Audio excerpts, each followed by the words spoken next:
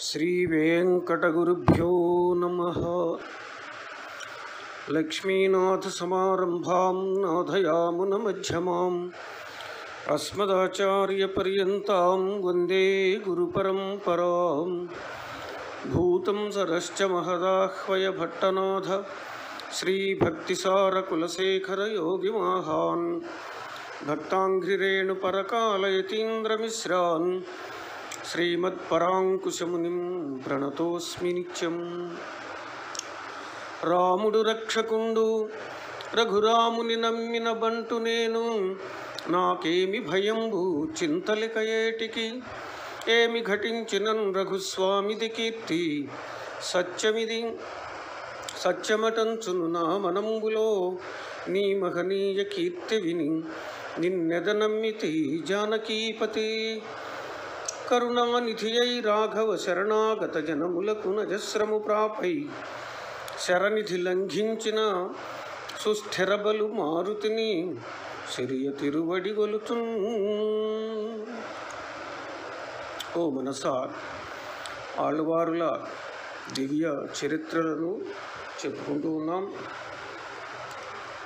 ఈరోజు తిరుప్పాణి ఆళ్ళవారుల యొక్క వైభవాన్ని అనుభవించుదాం. కార్తికే రోహిణీ జాతం శ్రీపాణిం నిచులాపురే శ్రీవత్సాంకం గాయకేంద్రం మునివాహనమాశ్రయే. మునివాహనులు అని వారికి సంస్కృతంలో పేరు. తెలుగులో కూడా మనం మునివాహనులు అని యోగి వాహనులు అని అలాగే తిరుప్పాణి ఆడవారు అని కూడా చెప్పుకుంటూ ఉంటాం. ఆయన కార్తీక మాసంలో రోహిణి నక్షత్రంలో నిచులాపురమునందు జన్మించారు. ఆయన శ్రీవత్సము అనేటటువంటి పుట్టుమచ్చ యొక్క అంశతో జన్మించారు. ఆయన గాయకేంద్రుడు అంటే ఆ రంగనాథుని మీద ఆటలు పాడుతూ ఉండేవాడు ఆ మహాపురుషుడు.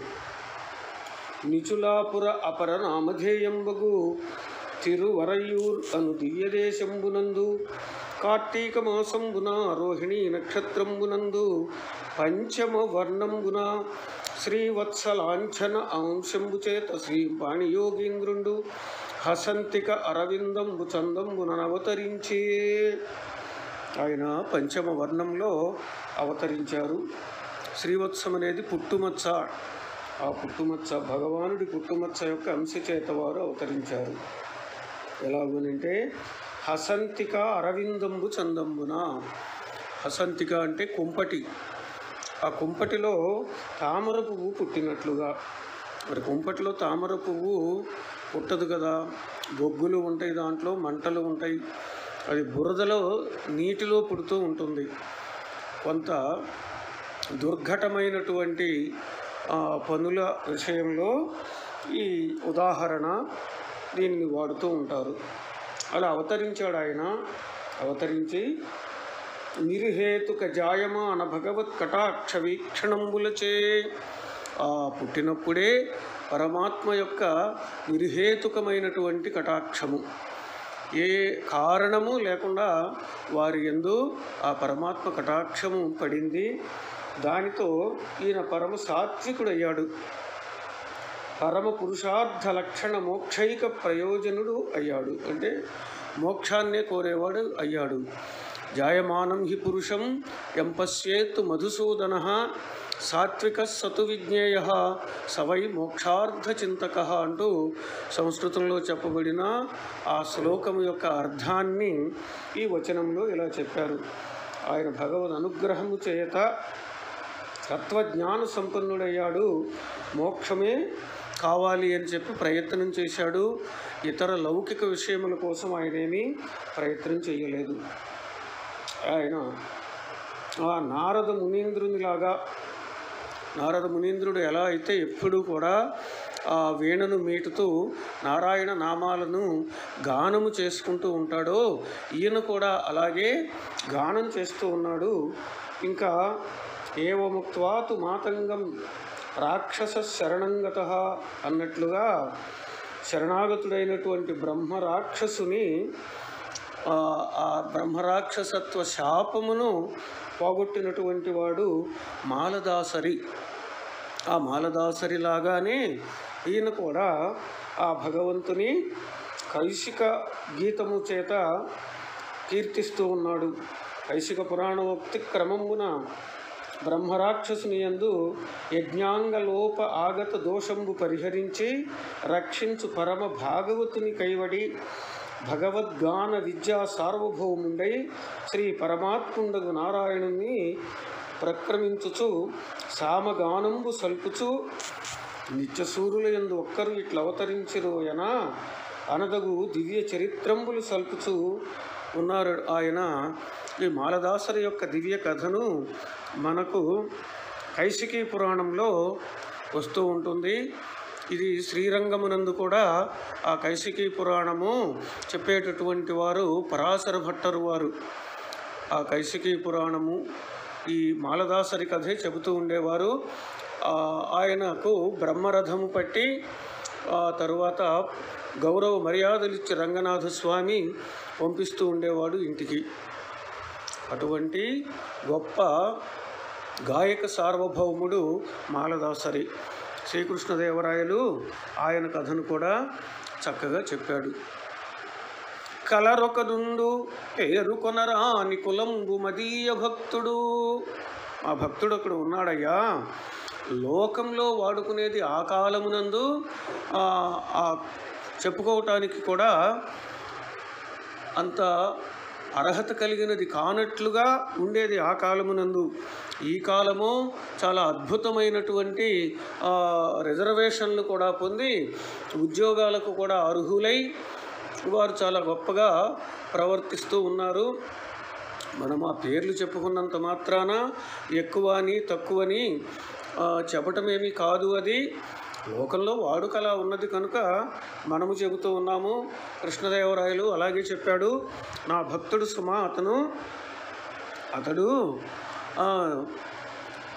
చాలా చక్కగా స్నానము చేసిన తరువాత ఊర్ధ్వపుండ్రములు ద్వాదశ ఊర్ధ్వపుండ్రములు ధరించి ఆ చిరుతలు తీసుకొని అలాగే ఒక గొడుగు తీసుకునేవాడు తాటాకుల గొడుగు ఒక బల్లెము తీసుకునేవాడు.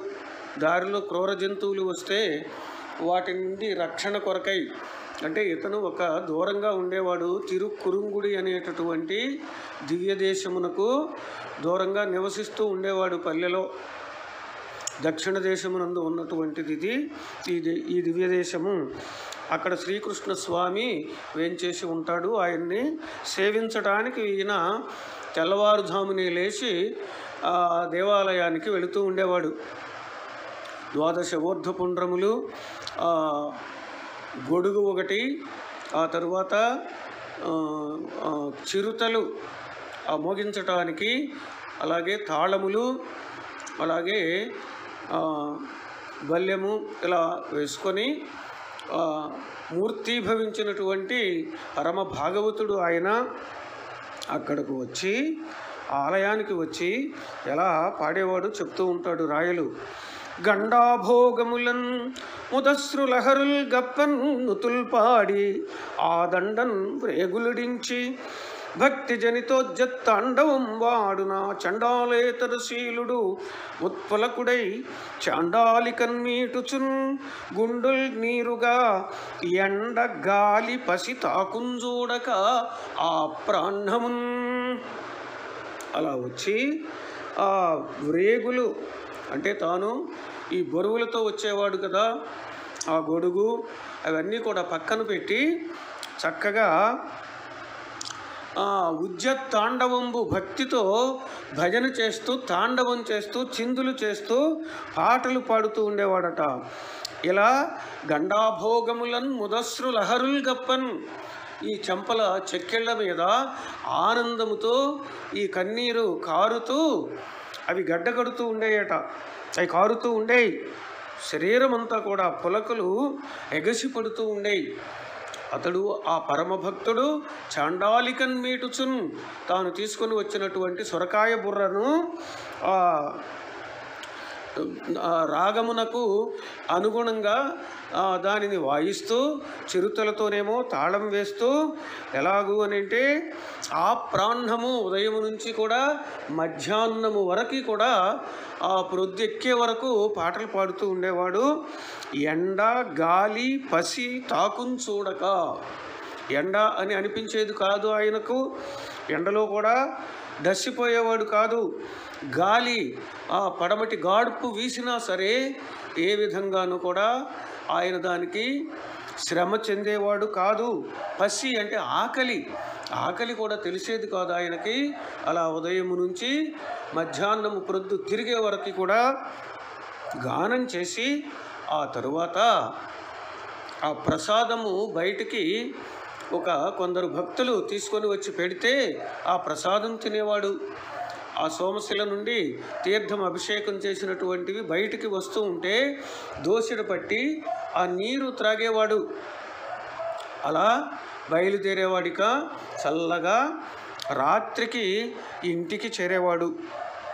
మరలా ఉదయము లేవడము మరలా ఇలా వెళ్ళటము ఆ స్వామి దగ్గర భజన చేయటము మళ్ళీ ఇంటికి రావటము ఇది నిత్యకృత్యము.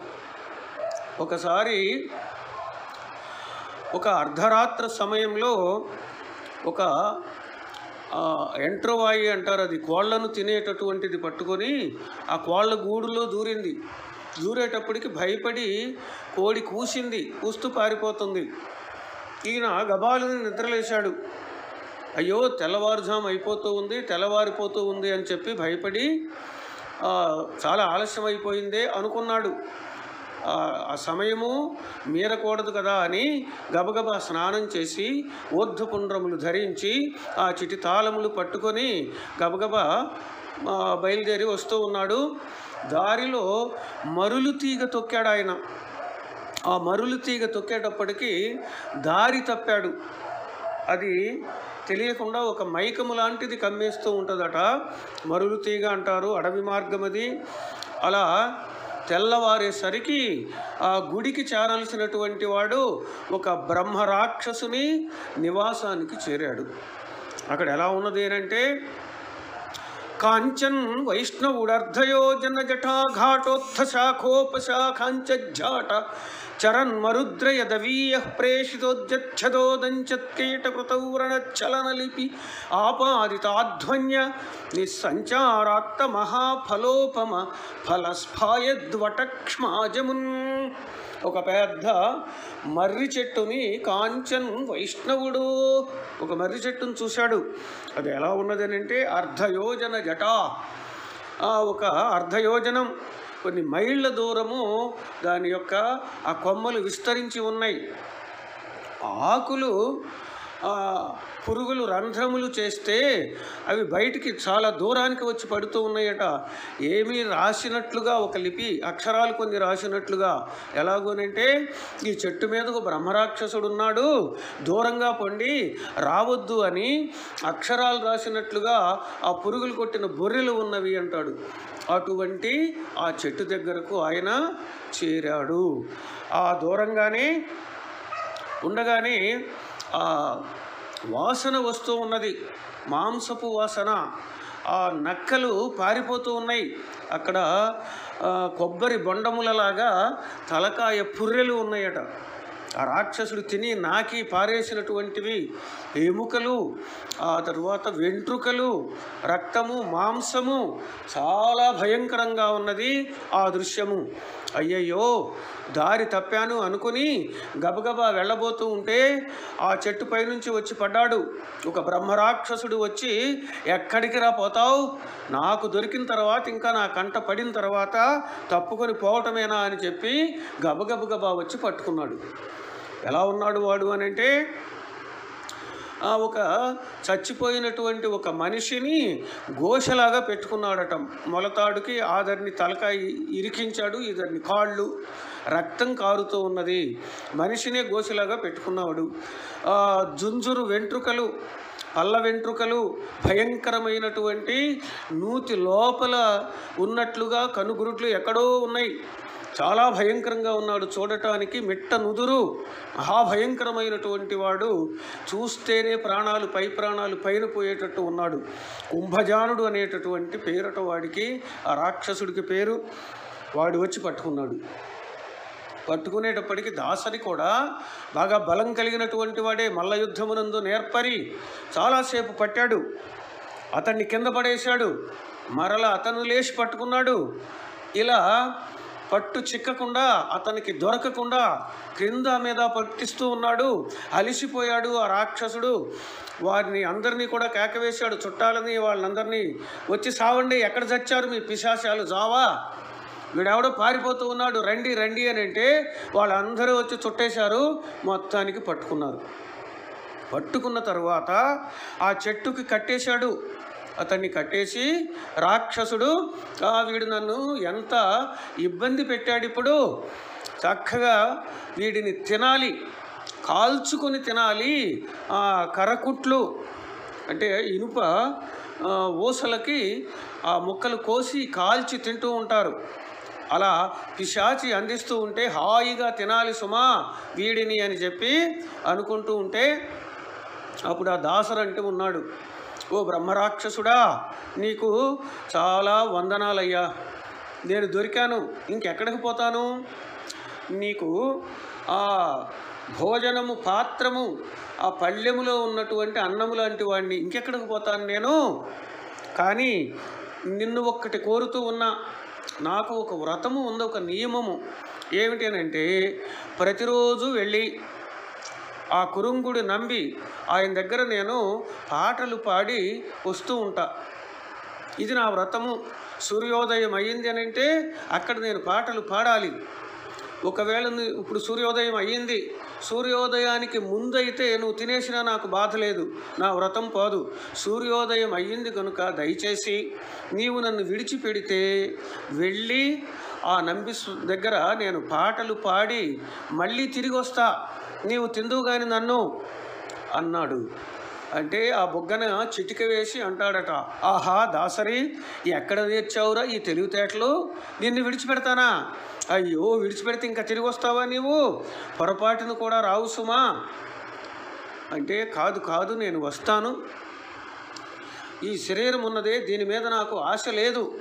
కానీ నా ప్రతిజ్ఞ తెల్లవారిన తర్వాత స్వామికి నా గానాన్ని సమర్పించాలయ్యా. నేను తిరిగి వస్తా. ఇది అసత్యం కాదు. నేను వస్తాను. అంటే ఎందుకు ఈ మాంసం ఇలా తింటారు అసలు మీరు? మీకేమన్నా ఉపయోగమేనా ఇది? మీరు కూడా దేవజాతి కదా. దానికి దేవజాతి రాక్షసులు కూడా. ఆ దేవజాతిలో కశ్యప ప్రజాపతికి పుట్టినటువంటి వారే. దితికి దైత్యులు పుట్టారు. అలాగే అదితికి ఆదితేయులు దేవతలు పుట్టారు. ఇంకా చాలామంది భార్యలు ఉన్నారు ఆయనకి. అసురులని రాక్షసులని పిశాచులని చాలా పేర్లతో ఉంటారు. మీరందరూ కూడా దేవయోనులయ్యా దేవజాతులు మీరు. మీకు అన్నీ తెలుసు. కానీ ఎందుకు ఈ హేయమైనటువంటి ఈ తిండి తింటూ ఉన్నావు? అన్నాడు. ఆహాహా నా తిండికే చెబుతూ ఉన్నావా? గరుడు పాముల్ని తింటాడు. విషం కక్కేటటువంటి పాములు తింటాడు. జాతికి ఉచితమైనటువంటి భోజనము సుమా. దాని ద్వారా పాపము లేదు దోషము లేదు. బాగా చదువుకున్నట్టున్నావే. చక్కగా చదువుకున్నటువంటి భోజనం దొరుకుతుంది నాకు ఈరోజు నిన్ను మాత్రం నువ్వేమి చెప్పినా కూడా విడిచిపెట్టేది లేదు అని ఆ రాక్షసుడు అంటూ ఉన్నాడు. ఇలా చాలాసేపు అయిన తరువాత ఓ బ్రహ్మరాక్షసుడా నేను ఒక ప్రతిజ్ఞ చేస్తూ ఉన్నా విను. నేను కానీ తిరిగి రాకపోతే ఏమైపోతానో అదిగో చేస్తూ ఉన్నా విను. ఏమిటనంటే ఒక ఒట్టు పెట్టుకొని చెబుతూ ఉన్నా ఎవ్వని చూట్కి చేసి జనియించు జగంబు వసించు నిజగం ఎవ్వని ఎందు దిందు మరి ఎవ్వని ఎందిది? అట్టి విష్ణుతో ఇవ్వల నొక్క వేల్పును గణించిన పాతకి నవ్వుదు నేడు నేనెవ్విధినైన నిన్ గదియనేని అనన్ విని బంధమూర్చినన్. నేను కానీ తిరిగి రాకపోతే ఏ గతికి పోతాను అని అంటే ఏ పరమాత్మ యొక్క చూపు చేత ఈ ప్రపంచము సృష్టి స్థితి లయములు జరుగుతూ ఉన్నవో చూపు అంటే సంకల్పము. ఆయన సంకల్పము చేత జరుగుతూ ఉన్నవో అటువంటి విష్ణుమూర్తితో మరి ఒక దేవుడు సమానము అని అన్నవాడు వాడు పాతకి వాడు ఏ గతికి పోతాడో తిరిగి రాకపోతే నేను ఆ గతికి పోతాను సుమా అని ఒట్టు పెట్టుకున్నాడు. ప్రతిజ్ఞ తన ఇష్ట దైవం మీద ఇలా ప్రతిజ్ఞ చేశాడు. చేసేటప్పటికీ అనన్విని బంధముచ్చినన్. అప్పటికి నమ్మకం కలిగింది. ఇతడు అసత్యమాడేవాడు కాదు. విష్ణుభక్తుడు. చాలా గొప్పవారు సుమా. విష్ణు భక్తులు ఎప్పుడూ కూడా ప్రాణాలు పోయినా ఆ దైవముని నమ్మి ఉంటారు. ఆ దైవం మీద ఒట్టు పెట్టుకుంటే ఇక వీరు ఆ ఒట్టుని పోగొట్టుకోరు సుమా. అసత్యం కాదు అని చెప్పి విడిచిపెట్టాడు. విడిచిపెట్టగానే పరుగులు తీసుకుంటూ వచ్చాడు. ఎలా అంటే అతడు తదల్ప పాప ఫలమందుట సుంకము తీరిపోయి తచ్చతదల పత్ర సాగిలి మ్రొక్కి రణద్విపంచి అయి శృతి కలిత ప్రబంధములు చొక్కగా పాడి అసత్య భీభర ద్రుతగతి వచ్చి రాత్రి చెరుతో వ్రతపూర్తి గతార్తినిట్లను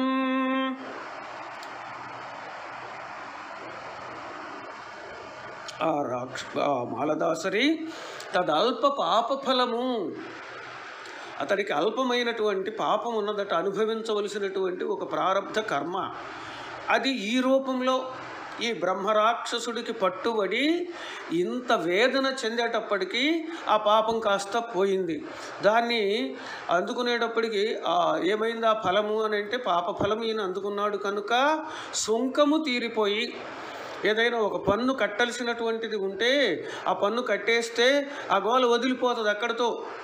అలా అనుభవించవలసింది తీరిపోయింది కనుక తచ్చతదల పత్ర నేత్రునకు సాగిలి మ్రొక్కి ఆ పరమాత్మకి వికసించిన సహస్ర రేకు వేయి రేకులు కలిగినటువంటి పద్మముల వంటి నేత్రములు కలిగినటువంటి ఆ తిరుకురుంగుడి నంబికి సాష్టాంగ నమస్కారం చేసి రణద్విపంచి అయి ఆ సొరకాయ బుర్ర దానిని చక్కగా మేళగించాడు. శృతి కలిత ప్రబంధములు చక్కగా పాడి ఆ దివ్య ప్రబంధములు అవన్నీ అన్నీ కూడా చక్కగా పాడాడు వినిపించాడు. ఇక మరల తిరిగి రాకపోతే అయ్యో అసత్యమాడినటువంటి పాపం వస్తుంది. ఆ పరమాత్మని తక్కువ చేసిన వాడిని అవుతా ఇతర దేవతలతో సమానం చేసిన వాడిని అవుతానే నేను అని చెప్పి అసత్య భీభర ద్రుతగతి ఆ భయంతో మళ్ళీ పరుగులు తీసుకుంటూ వచ్చాడు. పరుగులు తీసుకుంటూ వెళ్ళాడు. గబగబగబా పాటలు పాడాడు. మరల పరుగులు తీసుకుంటూ వచ్చాడు. వచ్చి ఆ రాక్షసునితో అంటూ ఉన్నాడు. ఓ రాక్షసుడా నీచరబాసిపోయి రజనీచరా చక్రి భజింప ముక్తి పొందేచరా ఏ చరందగులనుంకా చూడుమా నీవు పంచుచో ఏ చరణంబులు ఏ ఉదరము ఏ యురము ఏ శిరము ఏ కరంబులీవా చరణంబులా యుదరమాయురమా శిరమా కరంబులను చూడవయ్యా నీవు పంపించేటప్పుడు ఏ శిరస్సు ఉన్నదో ఏ పొట్ట ఉన్నదో ఏ చేతులు ఏ కాళ్ళు మరల అవిగో అవి మొత్తం తీసుకుని వచ్చేసా. ఏమీ దాచుకోలేదు సుమా ఈ శరీరమే నీది. చూడు ఒక్కసారి చూడు మొత్తము మళ్ళా తీసుకొచ్చానయ్యా. నీవేది విడిచిపెట్టావు అదే తెచ్చాను అన్నాడు. దిమ్మ తిరిగిపోయింది రాక్షసుడికి. అరెరెరెరే ప్రాణం పోతుందని తెలిసి కూడా వచ్చాడే. మళ్ళీ వచ్చాడు ప్రాణాల మీద ఆశతో పారిపోలేదు. అని చెప్పి ఆశ్చర్యము పడి ఆయనకి ప్రదక్షిణగా తిరుగుతూ అంటూ ఉన్నాడు. అయ్యో ఎలాగయ్యా మరల ఇలా ఎంత ధైర్యము నీది సాహసము? ఈ సర్వం సహ దేవదానవ మహీ బృన్మౌని వాచా తపశ్రీ సర్వస్వము. ఏ తదన్యకృతులం చెప్పంబడు ఎంతో వృద్ధనైమంటి నా సత్యం విధి నిన్ను పోలు కృత సంధా ధూర్వహుల్లేవికిన్ చచ్చిపోతానని తెలుసుకోవడం వచ్చావే? ఈ సర్వం సహా ఈ భూమి మీద దేవదానవ మహీభృత్తు మౌని వాచాతపశ్రీ సర్వస్వము. దేవతలు దానవులు ఋషులు ఆ అందరి యొక్క వాక్కులు సత్యవాక్కులు నాకు తెలుసయ్యా ఆడిన మాటలు. కానీ అవి ఏవి కూడా నీతో సమానం కాదు. వాళ్ళు బ్రతకటానికి అనేక నీతులు చెప్పుకున్నారు. దానవుడు చెప్పాడు ఒక నీతి శుక్రాచార్యులు వారిజాక్షులందు వైవాహికములందు ప్రాణవిత్తమాన భంగమందు. అబ్బంకవచ్చును అఘము బందదధిపా. ఆ చ- ప్రాణాలు పోయేటప్పుడు ధనం పోయేటప్పుడు అబద్ధం చెప్పొచ్చట. అది స పాపము కాదు దాని ద్వారా అసత్య దోషము రాదు అని చెబుతారు. ఇలా నీతులు చెప్పారయ్యా బ్రతకటానికి ఎన్నో సాకులు చెప్పుకున్నారు తాటాకులలోన రాసుకున్నారు వీళ్ళందరూ కూడా. కానీ నీవో నీలాంటి వాడు ఎక్కడ ఉన్నాడు? కృత సంధాధూర్వకుడు నీవు. చేసిన ప్రతిజ్ఞను నెరవేర్చుకున్నటువంటి వాడివి. నేను ఇప్పుడు ప్రతిజ్ఞ చేస్తూ ఉన్నా నీలాంటి వాడు నభూతో నభవిష్యతి పూర్వము లేడు ఇక ముందు కూడా ఉండడు. దేవ దానవ గరుడ గంధర్వ కిన్నర యక్ష సిద్ధ సాధ్య ఖచర ఖేచరాదులలో ఎక్కడా లేడు సుమా దేవతిరియం మనుష్య స్థావరాది ఆ సృష్టిలో బ్రహ్మాండ భాండములలో ఎక్కడా లేడు సుమా అని నేను ప్రతిజ్ఞ చేస్తూ ఉన్నాను.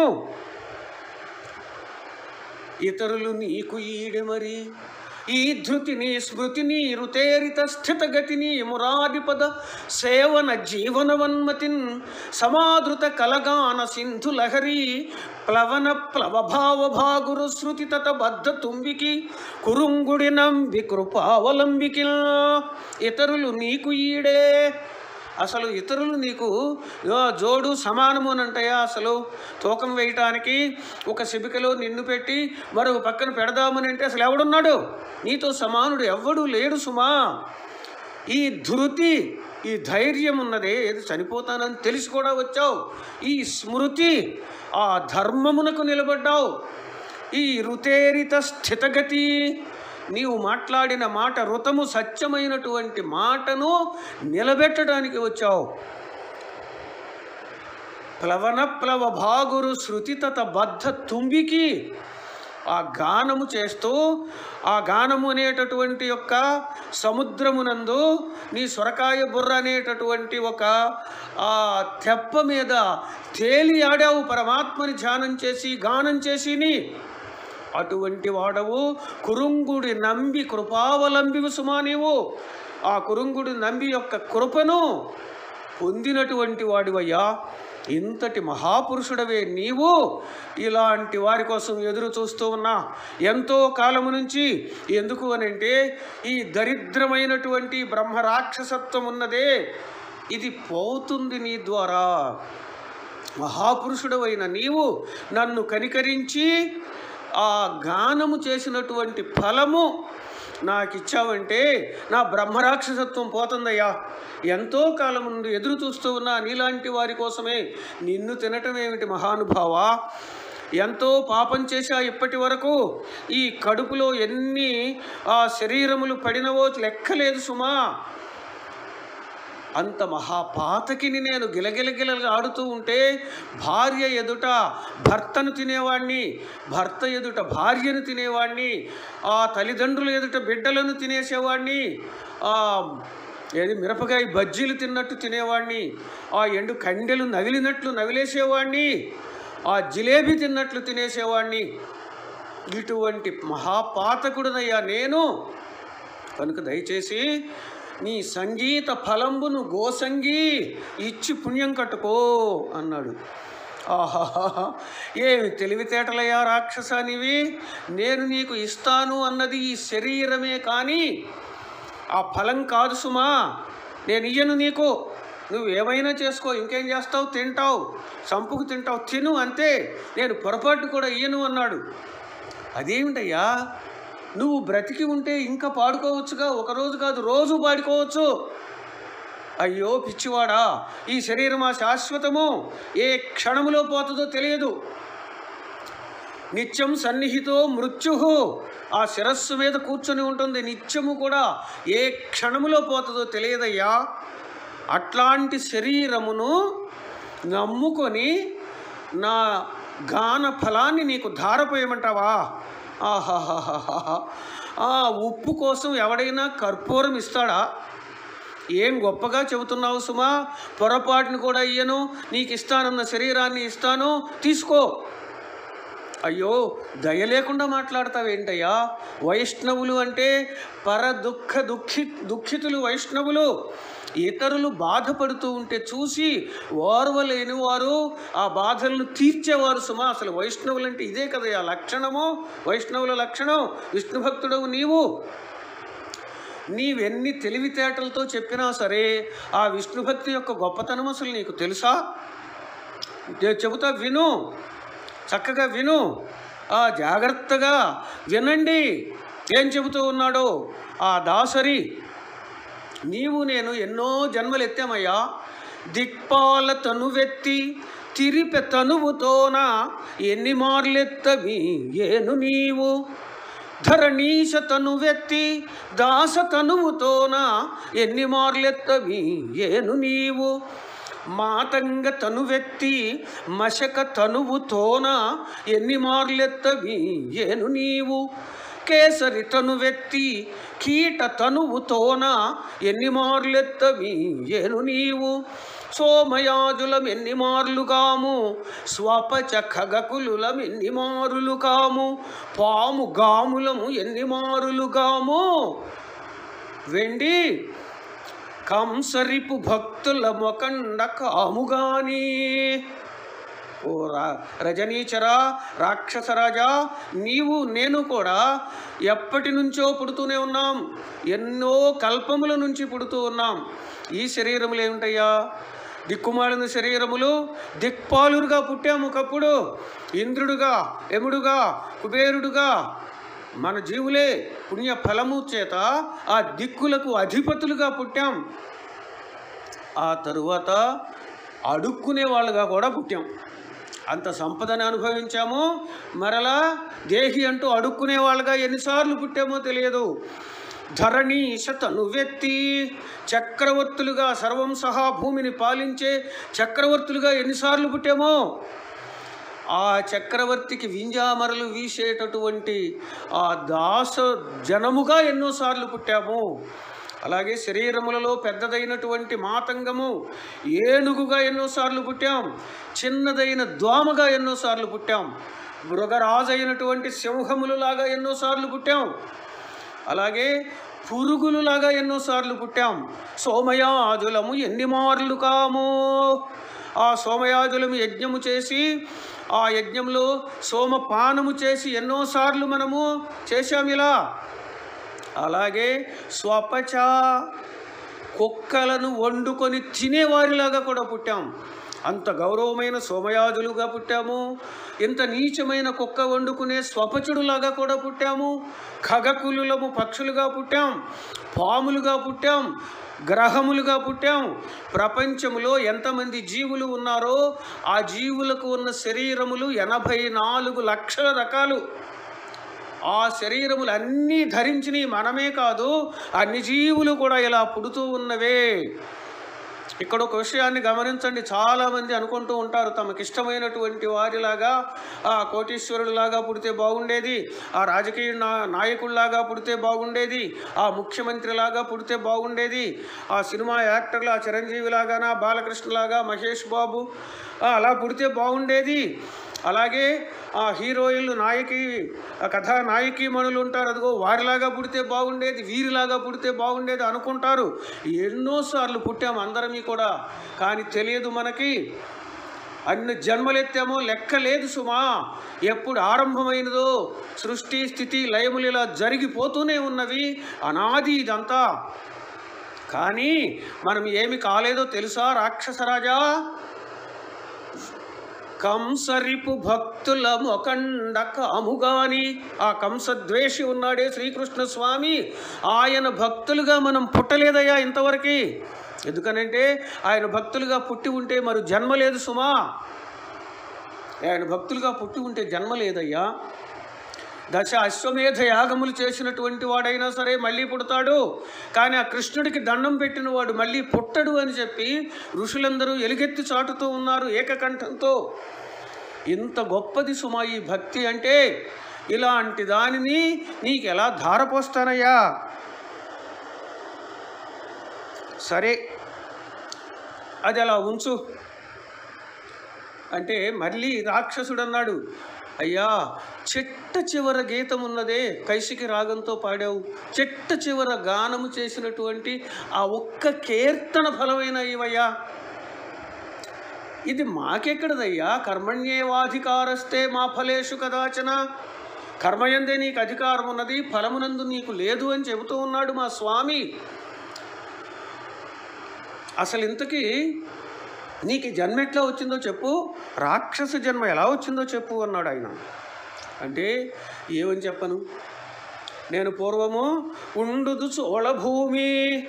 ఆ చోళభూమిలో నేను ఒక సోమపీఠి నేను ఒక సోమయాజిని నేను సోమశర్మ అంటారు నన్ను. ఆ బ్రాహ్మణ కుటుంబంలో పుట్టా. వేదములు వేదాంగములు శాస్త్రములు అభ్యాసం చేశా. అనేక యజ్ఞ యాగాదులు చేయించా జనంతో. ఎంతో ధనాన్ని ఇస్తూ ఉంటే దురాశ పుట్టింది.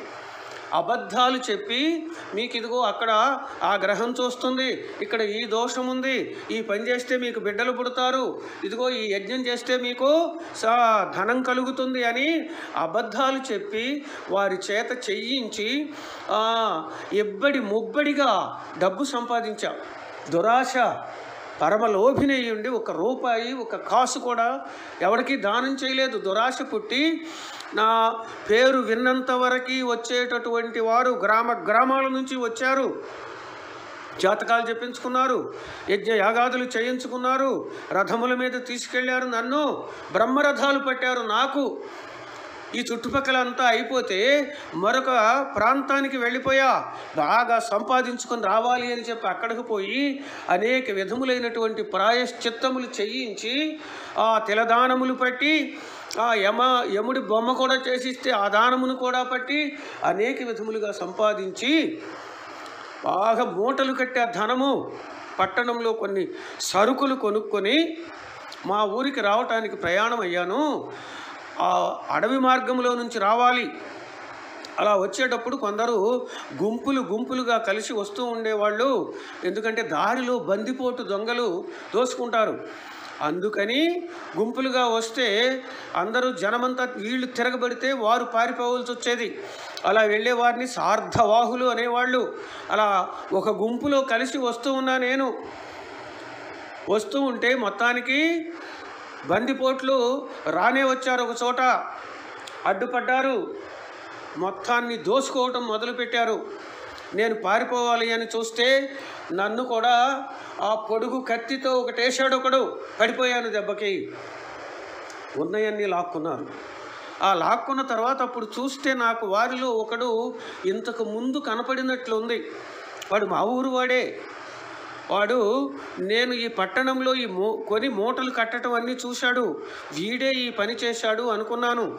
అనుకుని ఉండబట్టలేక నోటి దోల నోటి దురద ఇప్పుడు కూడా అంటుంటారు వింటూ ఉండండి. దోల తీరింది ఎదవకి అన్నట్లుగా నా నోటి దోలతో నేను అన్నాను వాడితో ఒరేయ్ నువ్వేనట్రా ఇక్కడ ఉన్నావా వీళ్ళతో కలిసి?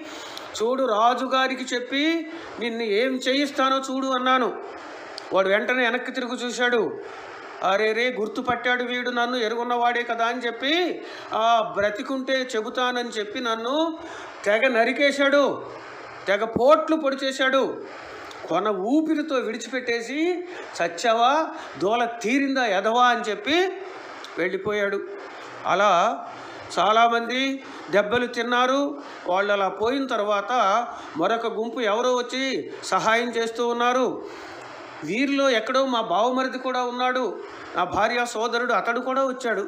వచ్చి నన్ను చూశాడు. అయ్యయ్యో బావా ఇదేమిటి నీకు ఈ గతి అని చెప్పి నన్ను మోసుకుని భుజాన వేసుకొని ఒక చెట్టు కిందకు తీసుకొని వెళ్ళి దాహమవుతూ ఉందరా అంటే అక్కడ పడుకోబెట్టి నీరు తేవటానికి వెళ్ళాడు. వాడు వచ్చే లోపలనే నా ఊపిరి ఆగిపోయింది. ఇదిగో ఈ బ్రహ్మరాక్షస శరీరం వచ్చేసిందయ్యా. మహానుభావా ఇక నీవే దీనిని పోగొట్టాలి అన్నాడు. కుదరదు కుదరదు సుమా. మాకు స్వతంత్రము లేదు. అనుమతి కైంకర్యంబులకు ఆజ్ఞా కైంకర్యంబులకు మేము కర్తలము కాదు అన్నాడు ఆయన. కృష్ణదేవరాయలు చెబుతూ ఉన్నాడు చూడండి ఎంతెంత సాంప్రదాయికమైనటువంటి మాటలో.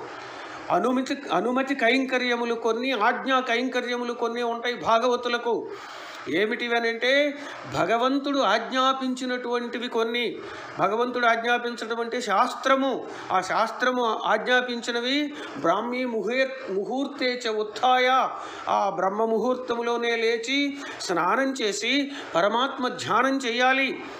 ఆ దేవత తిరువారాధన దేవతార్చన ఇలా చేస్తూ ఉండాలి. ఒంటి గంట వరకు కూడా ఆ తిరువారాధన చేస్తూ ఉండాలి. ఆ తరువాత సాపాటు అదే భోజనము. ఆ భుజించిన తరువాత సాపపాటు కాసేపు నిద్రపోవటము. మరలా ఆ ప్రబంధములనే పారాయణలు చేయటము. ఆ భాష్యములు భగవద్ విషయములు తాను చదవటము ఇతరుల చేత చదివించటము ఇవన్నీ కూడా ఆజ్ఞా కైంకర్యములు అంటారు. ఇలా చేయాలి ఒక్క క్షణము కూడా తీరిక లేకుండా. ఇక అనుమతి కైంకర్యములు అని అంటే ఇష్టమైనటువంటివి. ఎవరికి ఏది ఇష్టమో అన్నీ మరి ఒక్క రోజున ఒక్కసారి చేయలేరు కదా. ఇష్టమైనటువంటి కైంకర్యములు వాటిల్లో భగవానుడికి ఇష్టమైనటువంటివి. అది ఎలాంటివి అని అంటే నిన్న మొన్న కూడా చెప్పుకున్నాం పెరియాళ్ళవారు తొండరడిప్పొడి ఆళ్ళవారు ఆ మాలాకారుని వద్దకు పోయి శ్రీకృష్ణ స్వామి దండలు తీసుకున్నాడు. అలా ఇష్టమైనటువంటివి శబరి ఇచ్చిన పళ్ళు తిన్నాడు కుచేరుడిచ్చినటువంటి అటుకులు తిన్నాడు విదురుని యొక్క భోజనము తిన్నాడు. ఆ విదురుడిచ్చినటువంటి భోజనం ఏమిటి అని అంటే ఆ ఆ భీష్మ ద్రోణాదులను కాదని వచ్చేసాడు ఆయన ఆ విదురుని ఇంటికి వెళ్తాను అని చెప్పి ఆ రథం మీద వచ్చేస్తే ఆ ఇంటికి వచ్చేటప్పటికి ఎదురుడు వెనక వస్తూ ఉన్నాడు. ఆ విదురుని యొక్క భార్య స్నానం చేస్తూ ఉన్నదట ఆ తల్లి. శ్రీకృష్ణ స్వామి వచ్చాడు. వచ్చి కేక వేశాడు అత్త అని కేక వేశాడు ఆవిడ కూడా అత్తే అవుతుంది కదా. తన మేనత్త కుంతీదేవి వసుదేవుడికి చెల్లెలు. ఆ పాండురాజుకి సోదరుడు విదురుడు. విదురుని భార్య కూడా అత్తే కనుక అత్తమ్మా అని కేకేస్తే గబగబగబ వచ్చేసిందట ఆమె. స్నానాల గదిలో ఉంది పాపం. తెలియదు. స్నానం చేస్తూ ఉన్నానని తెలియదు. పైన వస్త్రం కూడా లేదు. పరుగులు తీసుకుంటూ వచ్చింది. ఆ పీతాంబరం అలా పైన పడేశాడు. చుట్టుకున్నది చుట్టుకుని ఆ దయచేయి స్వామి శ్రీకృష్ణ యదుభూషణ నరసఖ శృంగార రత్నాకర లోకద్రోహి నరేంద్ర వంశ దహన లోకేశ్వర రావయ్య మహానుభావ ఎంత కాలానికి దయచేసావు మా గుడిసెకు రమ్మని చెప్పి ఆ వారిది కూడా దివ్య సౌధం రాజభవనము. అయినా సరే గుడిసె అంటూ ఉన్నదామె. ఆ ఆయన్ని ఒక ఆసనం వేసి కూర్చుండబెట్టి రా రా ఎంత ఆకలితో ఉన్నావో తిను అని చెప్పి అరటి పండ్లు బాగా ముగ్గినటువంటి అరటి పండ్లు గెల తీసుకొని వచ్చింది మంచి చక్కెరకేళి. తీసుకొని వచ్చి ఒలిసి పెడుతూ ఉన్నది. ఏం పెడుతూ ఉన్నది? తొక్కలు పెడుతూ ఉన్నది ఒలిసి. గుజ్జు అవతల పాడేస్తూ ఉన్నది. అవి గుట్టలు పడుతూ ఉన్నాయి. గుజ్జు ఏమి ఇటు పడుతుంది? తొక్కలు. హాయిగా ఆనందంగా మింగుతూ ఉన్నాడు ఆయన. తినేస్తూ ఉన్నాడు. ఆయనకి అనిపించలేదు. ఈవిడికి తెలియదు. అప్పుడు వచ్చాడు విదురుడు వెనక పరుగులు తీసుకుంటూ వచ్చు అయ్యయ్యో అదేమిటి అదేమిటి అపరాధం అపరాధం స్వామికి అలా పెడుతూ ఉన్నావో తొక్కలు పెడుతూ ఉన్నావేమిటి? అన్నాడు. పిల్లాలా అదేమిటి? అన్నాడు. అప్పుడు చూశాడు ఆయన తుఫు అని చూసేసాడు తొక్క అని. ఆమె కూడా అప్పుడు గ్రహించింది అప్పటి వరకు ఆయనకి తెలియదు ఆమెకి తెలియదు. శుచిని గుణవంతిచ అంటాడు ఆ విదురుని భోజనము. శుచిమంతములైనటువంటివి గుణవంతములైనవి అనట ఆ విదురుడి ఇంట్లో భోజనం చేశాడు. ఆయనకు అవే ఇష్టమని చెప్పాడు. విదురుని యొక్క అన్నము కుచేలుడు ఇచ్చినటువంటి అటుకులు ద్రౌపది శాఖలవము ఆ శబరి ఎంగిలి పండ్లు అవేనట ఆయనకి ఇష్టము. అంటే భక్తితో ఇచ్చారు.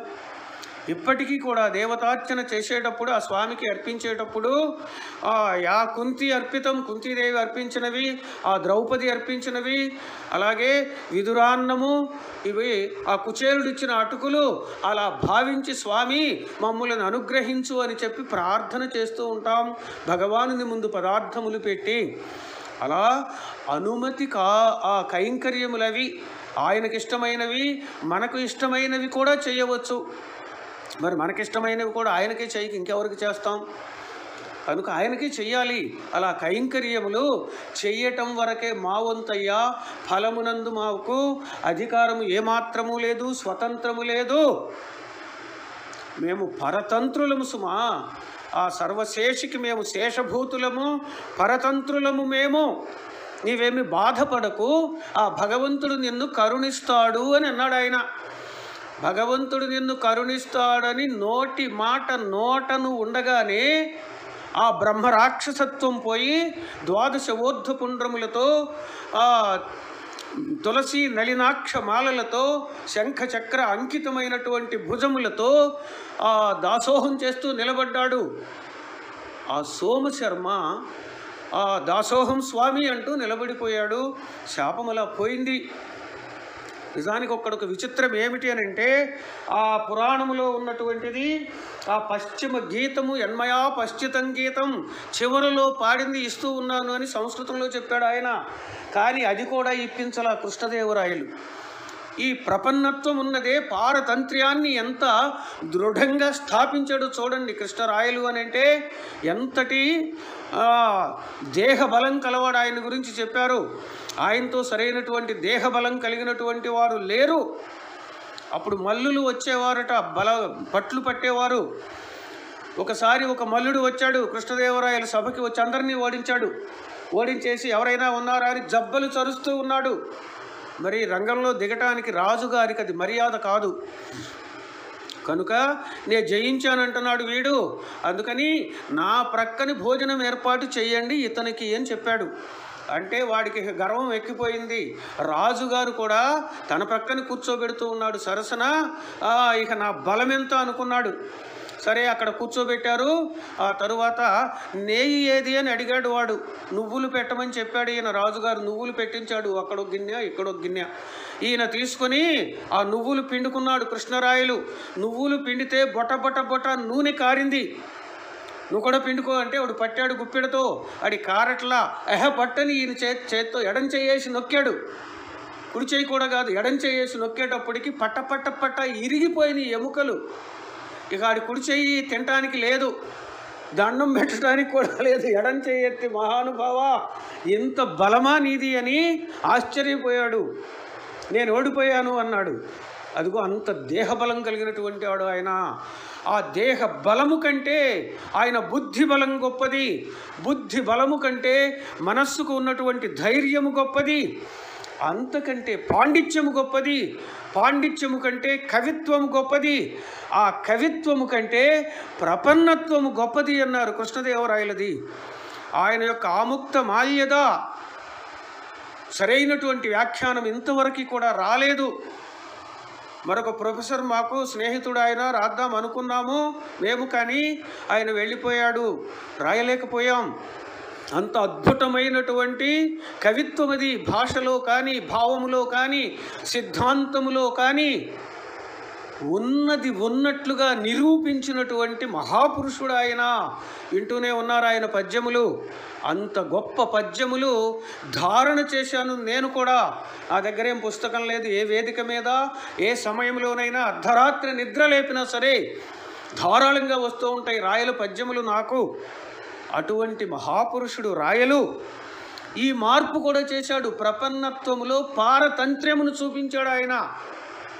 శేషత్వ పారతంత్ర్యములు గొప్పవి. శేషత్వం కంటే పారతంత్ర్యము గొప్పది అని చెప్పి సిద్ధాంతములో ఉన్నటువంటి రహస్యార్థములు ఇవి ఆచార్య హృదయములో అలహియ పెరుమాళ్ళు పెరుమాళ్ళ నయనారు ఆయన అక్కడ విశదీకరిస్తారు. చాలా గొప్ప విషయాలు అవన్నీ చెప్పుకోవటానికి సమయం చాలదు. అవన్నీ చదివినటువంటి మహాపురుషుడు చంద్రగిరిలో ఉండి ఆ చదివాడు ఆయన.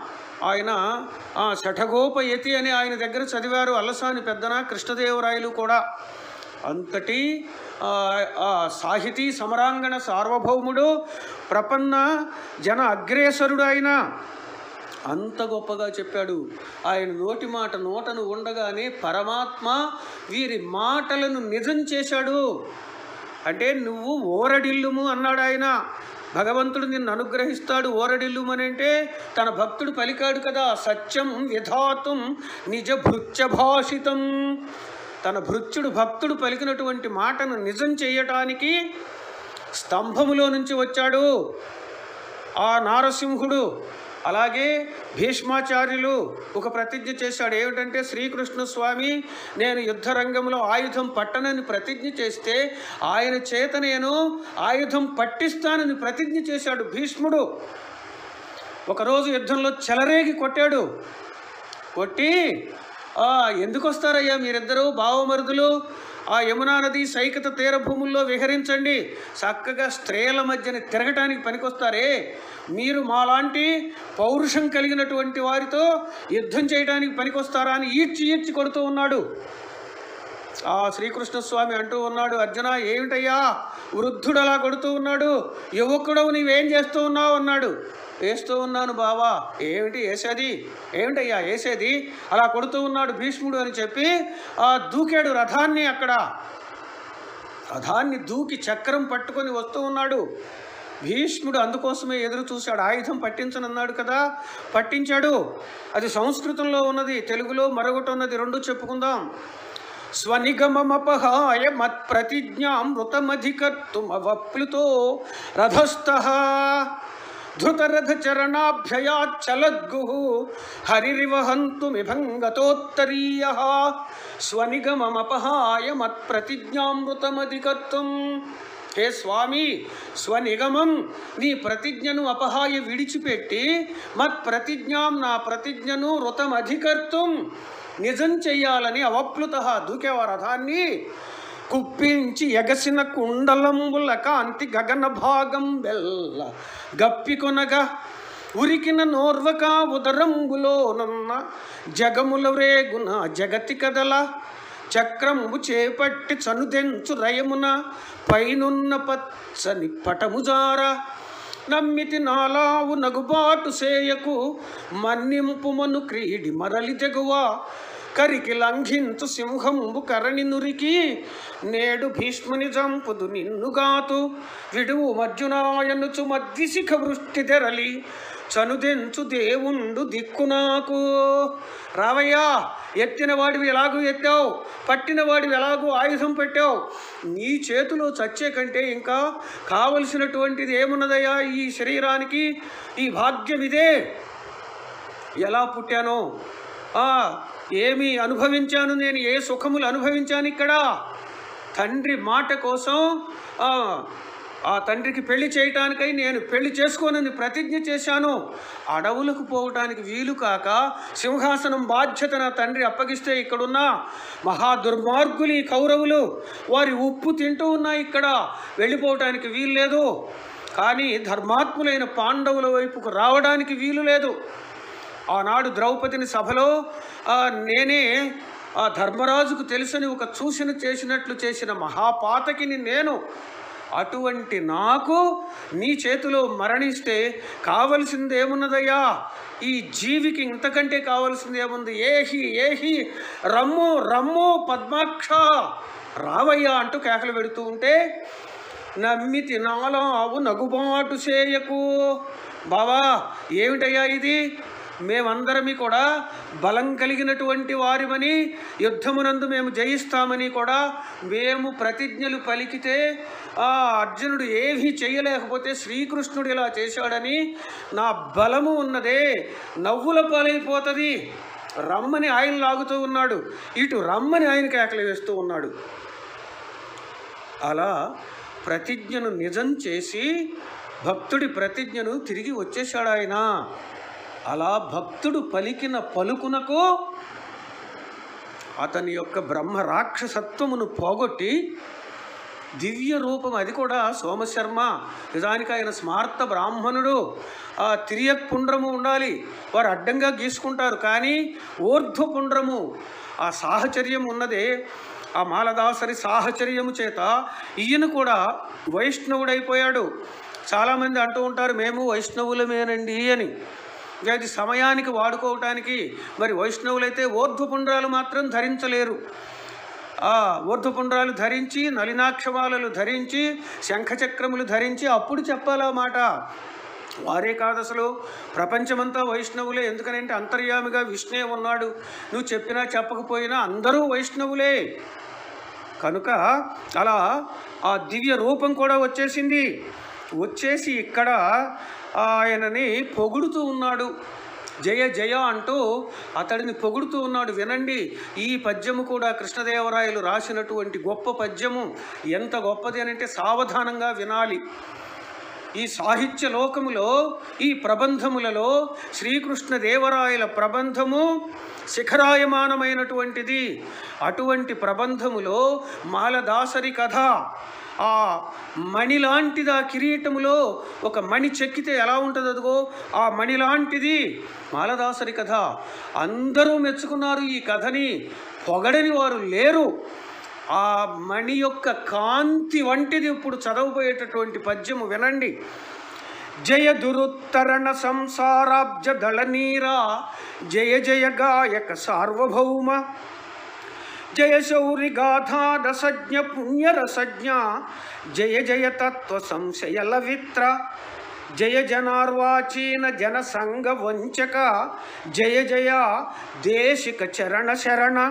దేశిక చరణ శరణ జయ జయ వాక్ ప్రతిష్ఠా తృణీకృత దేహ జయ జయ భగవద్ ఆజ్ఞాకృతిస్థ జయ సకల జంతు సమచిత్త జయ దయార్ద్ర జయ ముకుందాన్య దేవతా శాస్త్రవధిరా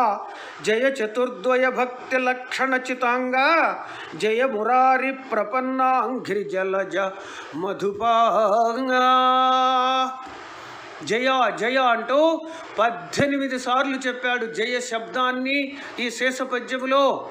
పద్దెనిమిది సార్లు చెప్పాడు. జయ అంటేనే పద్దెనిమిది అని అసలు అర్థము జయించుము అనే అర్థం. జ అంటే ఎనిమిది యా అంటే ఒకటి. అంకానాం వామతో గతి తిరగేస్తే పద్దెనిమిది. ఇది తొమ్మిది అవుతుంది జీవ సంఖ్య. ప్రపంచం అన్నింటికీ కూడా ఇదే గొప్పది. మొన్న మనకు మోడీ గారు కూడా తొమ్మిది గంటల తొమ్మిది నిమిషం తొమ్మిది గంటల నుండి తొమ్మిది నిమిషముల పాటు వెలిగించమన్నాడు ఆయన. ఈ తొమ్మిది ఆ తొమ్మిది ఆ పద్దెనిమిది మళ్ళీ తొమ్మిది. ఇది జీవ సంఖ్య కనుక మన భారతదేశంలో ఈ జీవులకు శుభము కలుగుతూ ఉంటుందనే సూచన చేసింది ఆ సంఖ్య. అలాంటి సంఖ్య ఇది. అటువంటి పద్యము యొక్క అర్థం కూడా తెలుసుకుందాం. వినండి శ్రద్ధగా మన్నించండి నన్ను. సమయం ఎక్కువైతే ఒకసారి కాకపోతే రెండు సార్లు వినండి అర్థం కూడా చెబుతాను దీనికి. జయ దురుత్తరణ సంసార సంసార అబ్జదళనీరా. నీకు జయము అంటూ ఉన్నాడు. ఈ సంసారం అనేటటువంటిదే దురుత్తరణము దాటటానికి సాధ్యం కాదట. ఎవ్వరూ దాటలేరు దీనిని. ఎందుకనంటే దాంట్లో పడిపోయి ఇది తామే అనుకుంటారు. తాను తన వాళ్ళు అనుకుంటాడు. పొరపాటును కూడా విడిచిపెట్టలేడు. కానీ దాని అందు ఎలా ఉన్నాడు ఈ దాసరి అని అంటే అబ్జదళమునందు నీరము ఉన్నట్లుగా. అంటే తామర ఆకు మీద నీటి బొట్టులాగా అంటకుండా ఉన్నటువంటి వాడా. నీకు జయము. జయ జయ గాయక సార్వభౌమా జయ జయ. గాయకులలో గానము చేసేటటువంటి వారిలో నీవు సార్వభౌముడవయ్యా. అందరిలోనూ గొప్పవాడి సుమా భగవంతుడిని గానం చేసినటువంటి ఓ గాయక సార్వభౌమ నీకు జయమో జయము. జయ శౌరి గాథ రసజ్ఞ పుణ్యరసజ్ఞ. శౌరి గాథలు.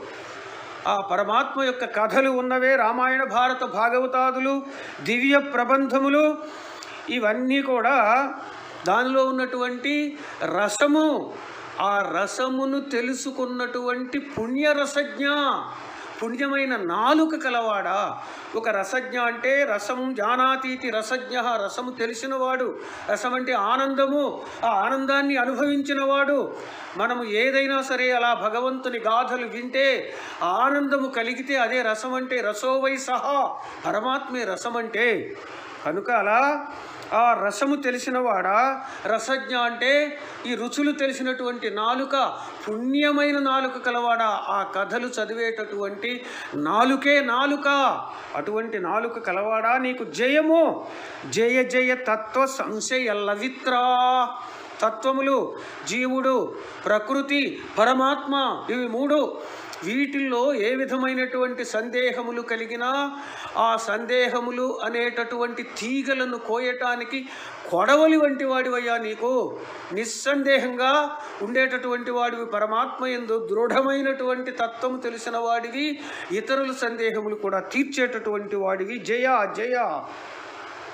జయ జనార్వాచీన జన సంఘ వంచకా పుట్టుకలో అర్వాచీన జనం జ- అంటే చాలా తక్కువ కులములో పుట్టావు.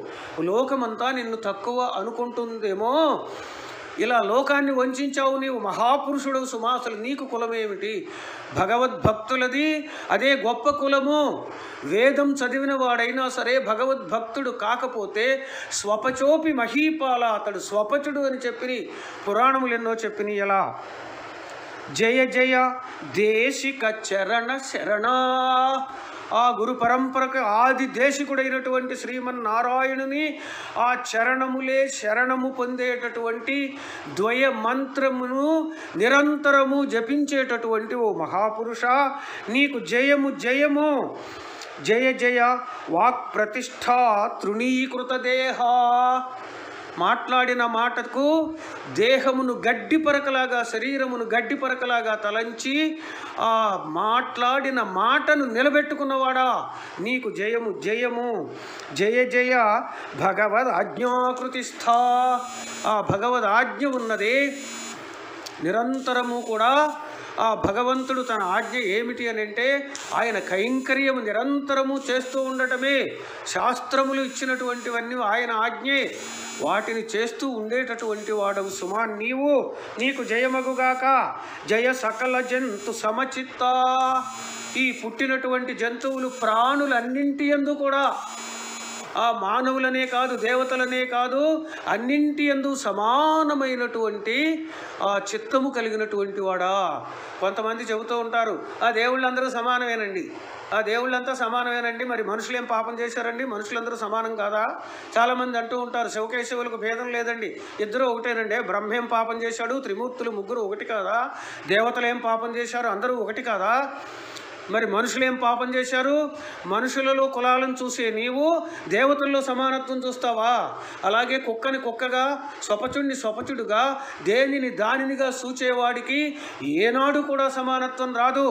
ఇదిగో ఇక్కడ చెబుతున్నాడు సకల జంతు సమచిత్త పుట్టుక కలిగిన ప్రతి దాని ఎందు స్థావరములు జంగమములు అన్నీ కూడా భగవంతుడు వీటన్నింటి ఎందు కూడా అంతర్యామిగా ఉన్నాడని చూసేటటువంటి మనస్సు కలిగినటువంటి వాడవు నీవు. జయ దయార్ద్రా. దయ ఎల్లప్పుడూ కూడా నీకు హృదయం తడిసిపోతూ ఉంటుంది దయచేత. జయ ముకుందాన్యతేవత. శాస్త్రబధిరా. ఆ భగవంతుని గాథలు తప్ప తదితర గాథల ఎందు చెవిటివాడివి నీవు. అంటే చెవి వగ్గవు వినవు. అవి ఎంత గొప్పవైనా సరే నీవు వినవు సుమా. జయ చతుర్ద్వయ భక్తి లక్షణచితాంగా చతుర్ద్వయ రెండు నాలుగులు ఎనిమిది విధములైనటువంటి భక్తి కలవాడా? భగవంతుని ఎందు భక్తి అలాగే భగవద్భక్తుల ఎందు భక్తి ఆ వారి ఎందు ఆ పూజ చేయటం ఎందు ఇలా ఎనిమిది లక్షణములు భక్తి లక్షణములు కలిగినటువంటి వాడవు సుమా నీవు. జయ మురారి ప్రపన్నాంఘ్రి జలజ మధుపా. మురారి ప్రపన్నుల ఆ భగవంతుడిని ఆశ్రయించినటువంటి భక్తుల యొక్క పాదములు అనే పద్మమునందు నివసించే తుమ్మిద వంటివాడా అంటే భాగవతులను నిరంతరము పూజించేవాడా? అంటే భగవంతుడిని భాగవతులను ఆ దేశికులను భగవద్ భాగవత ఆచార్య కైంకర్యం చేసేటటువంటి ఓ మహాపురుషుడా నీకు జయము అని స్తోత్రం చేశాడు ఆయన. అంత గొప్ప స్థితి కలిగినటువంటి మహానుభావుడైన సరే అ- అలాగే ఈయన కూడా గాయక సార్వభౌముడు. అలాగే ఆ కులమునందు పుట్టినటువంటి వాడు ఈ తిరుప్పాణి యోగేంద్రుడు ఆ భగవంతుని గాథలను కావేరీ నదికి అవతల ఉండి పాడుతూ ఉండేవాడట ఆయన. ఆ దక్షిణ కావేరికి అవతల వైపున ఉండి పాడుతూ ఆనందపడుతూ ఉండేవాడు. రంగనాథస్వామి గోపురాన్ని చూస్తూ పాటలు పాడుతూ ఉండేవాడు. అలా ఒకసారి పాడుతూ పాడుతూ మైమరచి పడిపోయాడు. పడిపోయి ఈదరి కొట్టుకొచ్చేశాడు. కొట్టుకొచ్చేస్తే ఆ భగవంతునికి బిందె తీర్థం తీసుకుని స్నానానికి అభిషేకానికి తీర్థం తీసుకుని వెళ్ళేటటువంటి ఆయన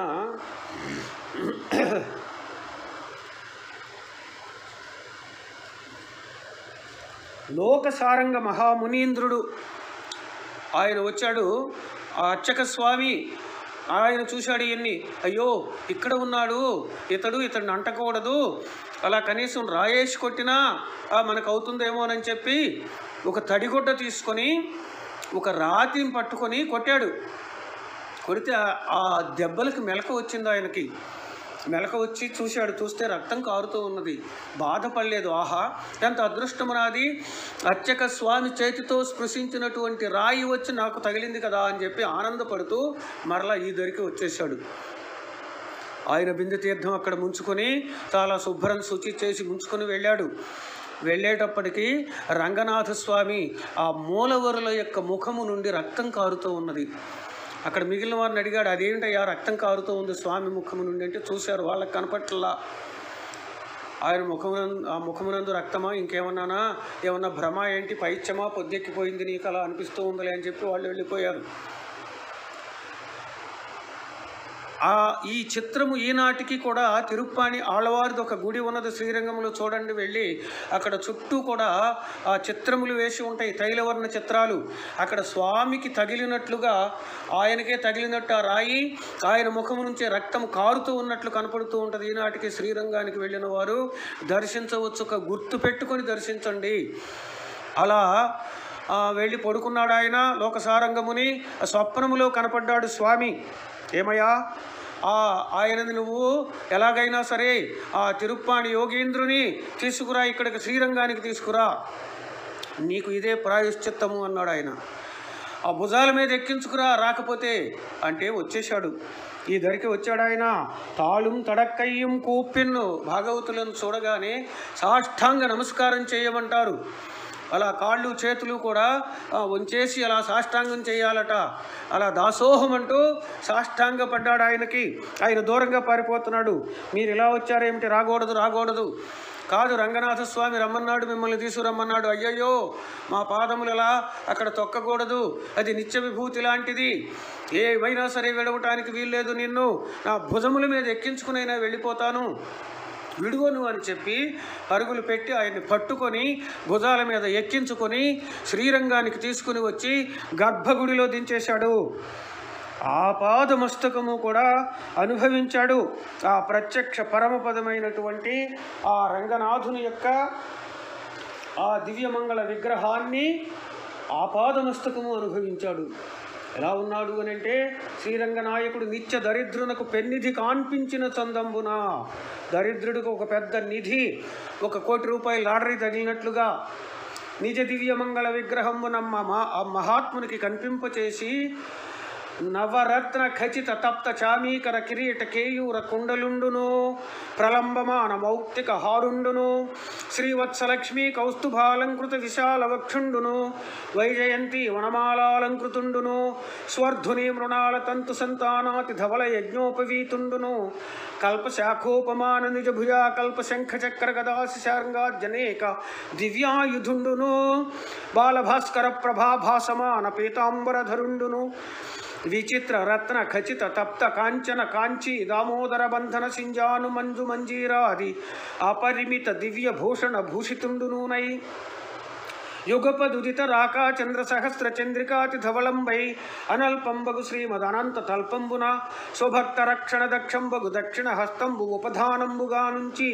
ప్రసారితేతర దీర్ఘభుజుండై హల కులిశాంకుశాది దివ్య లక్షణ లక్షితంబగు శ్రీపాదారవిందద్వయంబు సాచి భూనీళాది దివ్య మగిచీవర్గంబు శ్రీపాద సేవ చలుపుచుండ శ్రీమదనంత గరుడ విశ్వక్సేనాది నిత్య సూర్య నికర నిషేవ్యమానుండై పవళించి ఉన్న పరమ పురుషనింగాంచి మిగుల హర్షించి తిలకించి పులకించి స్తనంధయ బాలకుండాత్మీయ జనని ఇతరావయంబులపేక్షింపక స్వజీవనార్థంబు స్తనాగ్రంబునందు నిజాస్యంబు ఉంచుగతి శేషిత్వ భోగ్యత్వ ఉపాయత్వ పరిపూర్తి వహించు మించు శ్రీపాదపద్మంబులాదిగా శీర్ష పర్యంతంబు శ్రీహరి దివ్యమంగళ విగ్రహం అనుభవించి తదనుభవ జనిత ప్రీత్యతిశయంబుచే తాను అనుభవించిన అనుభవంబు అమల నాదిపిరాన్ అను ఒక దివ్య ప్రబంధంబుచే ఆనతిచ్చి సకల చేతనోజ్జీవనం వనర్చించి ఆనందించుచుండ శ్రీ రంగనాథుండు కురువేరు తన్మూల మృత్తికతో నాదరించుకొలంది.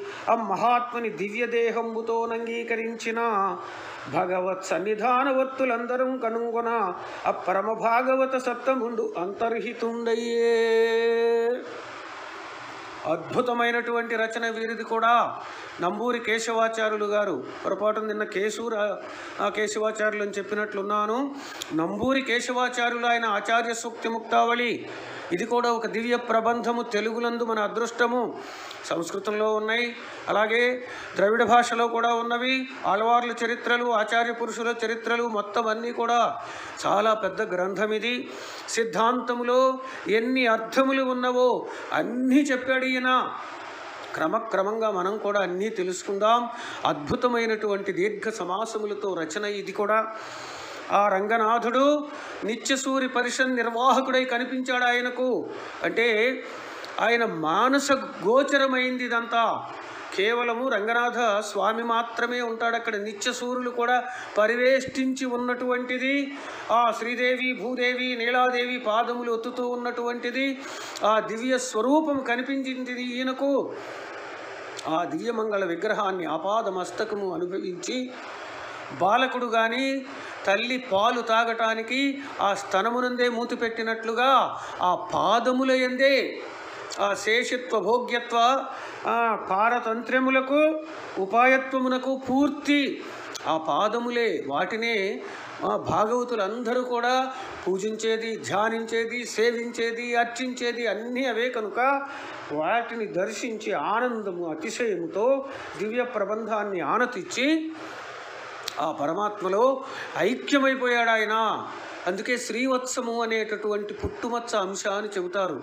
ఈ చెప్పడంలో అంశాలు చెప్పడంలో కూడా చాలా విశేషాలు ఉన్నాయి పుట్టుమచ్చ అంటే శరీరము నుండి వేరు చేయడానికి వీలు లేనిది.